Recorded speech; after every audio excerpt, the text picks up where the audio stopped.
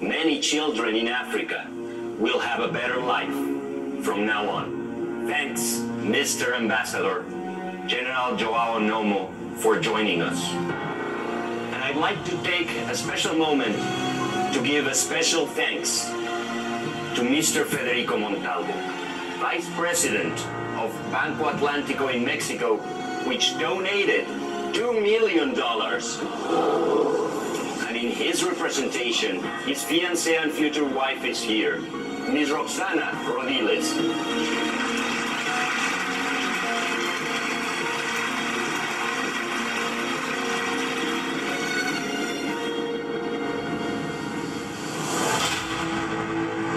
¡Welcome!